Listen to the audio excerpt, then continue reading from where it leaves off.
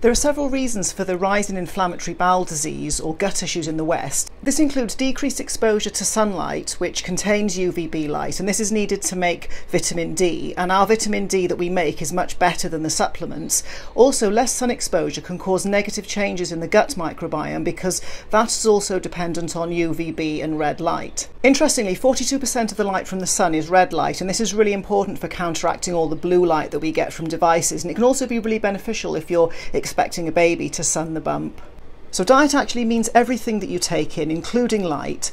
And as human beings, we did evolve in the sun, and there are some terrible studies out on the dangers of sun. Some of them are funded by sunscreen companies, and this has frightened a lot of people away from the sun and caused an increase in chronic disease.